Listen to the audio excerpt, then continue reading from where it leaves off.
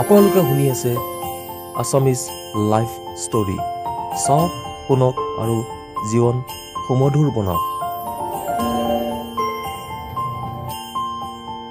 আজিৰ কাহিনীৰ শিৰোনাম পেৰানমেল ক্ৰিছফ্ৰেনিয়া আপোনালোকে শুনি আছে আছামিজ লাইফ ষ্টৰিজ চাওক শুনক আৰু জীৱন সুমধুৰ বনাওক। আহক যাওঁ কাহিনীৰ মাজলৈ। সেইজনী সংগীতা তাইৰ ক্ৰিছফ্ৰেনিয়া আছে। এইটো হ'লেই তাইক পাগলী বুলি কৈ দিব নোৱাৰি। এক জটিল বেমাৰ। মনৰ ভিতৰতে কিছুমান কাল্পনিক চৰিত্ৰৰ জন্ম দিয়ে। মই অশোক ডক্তৰ অশোক তাইৰ চিকিৎসাৰ দায়িত্বত আছোঁ। কেইদিনমানৰ পৰা তাইৰ আচৰণ অদ্ভুত হ'বলৈ ধৰিছে। বতাহত হাত বাউল দি তাই কাৰোবাক মাতি আছিল। তাইৰ ওচৰলৈ লাহে লাহে যাবলৈ ধৰিলোঁ। তাই মোক দেখি আঁতৰি আগলৈ দৌৰিবলৈ ধৰিলে মই তাইৰ পাছ ল'লোঁ। গুচি যাওক আপুনি নাহিব মোৰ ওচৰলৈ। আপোনালোকে শুনি আছে আছামিজ লাইফ ষ্টৰিজ। শুনক চাওক আৰু জীৱন সুমধুৰ বনাওক। পুনৰ কাহিনীৰ মাজলৈ যাওঁ আহক। তাই মোৰ পৰা লুকাবলৈ চেষ্টা কৰিলে। তাইক নেদেখাকৈ মই তাইক লক্ষ্য কৰিবলৈ ধৰিলোঁ। মই এতিয়া আপোনাক দেখা পাইছোঁ। আকাশলৈ চাই চাই তাই কথাকেইটা মোক শুনালে। মই তোমাৰ ডক্তৰ হয় তোমাক চাবলৈ আহিছিলোঁ। বেলেগ এদিনা আহিব। আজি মই বৰ ব্যস্ত। চাওক সি আহিছে। মই কথা পাতি আছোঁ এতিয়া।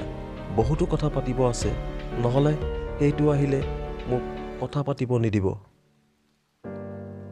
খঙেৰে কথাষাৰ কৈ তাই এক অদ্ভুত ধৰণলৈ মোলৈ চালে। মুখখন এক আচৰিত ধৰণেৰে সলনি হ'বলৈ ধৰিলে। তাই দৰৱ লোৱা নাছিল। এনে ক্ষেত্ৰত তাই নিজৰ লগতে আনৰো বিপদ ঘটোৱাৰ সম্ভাৱনা থাকে। চোৱা মই ডক্তৰ অশোক তোমাৰ ডক্তৰ তুমি মোক বিশ্বাস কৰিব পাৰা। আপোনাক বিশ্বাস কৰিম? কিয়? তাই পাগলীৰ দৰে হাঁহিবলৈ ধৰিলে। মই তোমাৰ ভালৰ কাৰণেই আহিছোঁ। মই জানো মোৰ আপোনালৈ ভয় লগা নাই। মই ফোন এটা কৰিলোঁ ৰবা মই মোৰ সহায়কাৰী ডক্তৰ ৰবীনলৈ ফোন লগালোঁ। মোৰ সেইটো লৈয়ে ভয় লাগে সেইটো আহিলেই। তাই পুৰণি গছজোপাৰ ফালে আঙুলিয়াই দেখুৱালে। মই ফোনটো থৈ সেইফালে চালোঁ কিন্তু কাকো নেদেখিলোঁ। আপুনি দেখা নাই কিজানি সেইটো আৰু ভয় লগা নহয়নে? কথাখিনি কৈ তাই হাঁহিবলৈ ধৰিলে। তাইৰ অৱস্থা শোচনীয় হৈ গৈ আছিল। তাই এটা মনে সজা চৰিত্ৰৰ সৈতে কথা পাতিছিল কিন্তু আজি কেইদিনমানৰ পৰা তাই আন এটা চৰিত্ৰৰ কথা ক'বলৈ ধৰিছিল। তাই ভয় খাইছিল সেই চৰিত্ৰটোৰ কথা কওঁতে। ৰবীনক ক'লোঁ সকলোখিনি কথা। আধা ঘণ্টামানৰ পাছতেই এম্বুলেঞ্চখন আহি পালে। এইখিনি সময় তাই সেই গছজোপাৰ ফালেই চাই আছিল। তাইক এম্বুলেঞ্চখনৰ ওচৰলৈ লৈ যাওঁতে তাইক সুধিলোঁ আপোনালোকে শুনি আছে আছামিজ লাইফ ষ্টৰিজ শুনক চাওক আৰু জীৱন সুমধুৰ বনাওক পুনৰ কাহিনীৰ মাজলৈ যাওঁ আহক। কিয় ভয় খোৱা তুমি? নাই আজিৰ পৰা আৰু ভয় নাখাওঁ মই। কিয়? সি এতিয়া মোক নিবিচাৰে আৰু। মানে সি আপোনাক বিচাৰিছে। আপোনাক কিবা ক'ব বিচাৰিছে। কথাখিনি কৈ তাই ৰহস্যপূৰ্ণ হাঁহি মাৰি উঠিল।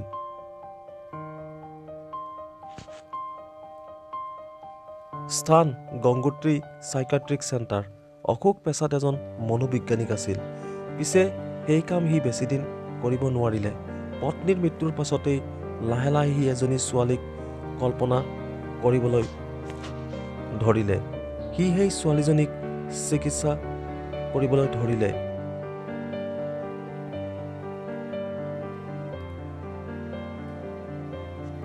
সি সেই ছোৱালীজনীক চিকিৎসা কৰি থকা বুলি কয়। আচলতে তেনে কোনো ছোৱালী নাই। এইটো ক্ৰিছফ্ৰেনিয়াৰ এটা ৰেয়াৰ কেছ। কাৰণ অশোকে দেখা সেই ছোৱালীজনীয়ে যি দুটা চৰিত্ৰ কল্পনা কৰি থাকে বুলি কয় তাৰে এটা মই। কিন্তু মই কেতিয়াও অশোকৰ লগত কাম কৰি পোৱা নাছিলোঁ। আৰু সেই ছোৱালীজনীয়ে কোৱা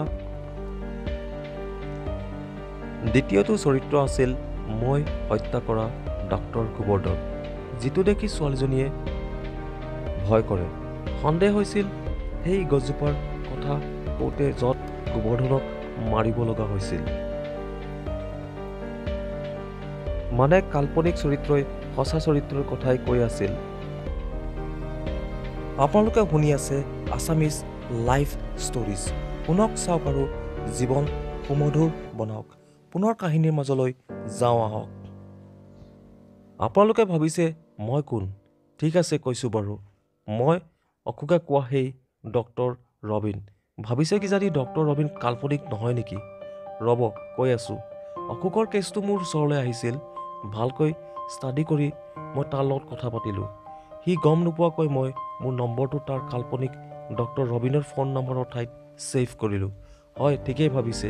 মই ডক্টৰ ৰবিন নহয়। ৰবিন অশোকৰ আন এটা কাল্পনিক চৰিত্ৰ। মোৰ নাম। বাদ দিয়ক নামেৰে কি হ'বনো?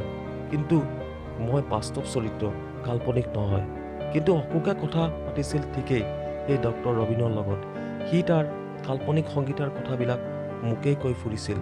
তেনেকৈয়ে জানিলোঁ সংগীতাই ভবা দুটা চৰিত্ৰৰ কথা। সঁচাকৈয়ে ৰেয়াৰ কেছ। অদ্ভুত এই ক্ৰিছফ্ৰেনিয়া পেৰামেল ক্ৰিছফ্ৰেনিয়া আৰু গোবৰ্ধনক কিয় মাৰিলোঁ যদি ভাবিছে সেইটো মই ক'ব নোৱাৰিম। এইবিলাক মোৰ মনৰ ভিতৰৰ কথা। সকলো কথা কৈ দিলে মোৰ ছিক্ৰেট একো নাথাকিব দেখোন। তো এনেধৰণৰ সুন্দৰ চুটি গল্পসমূহ পাই থাকিবৰ বাবে আপোনালোকে আমাৰ চেনেলটি লাইক কমেণ্ট শ্বেয়াৰ আৰু ছাবস্ক্ৰাইব কৰি যেন ধন্যবাদ জয় আই অসম।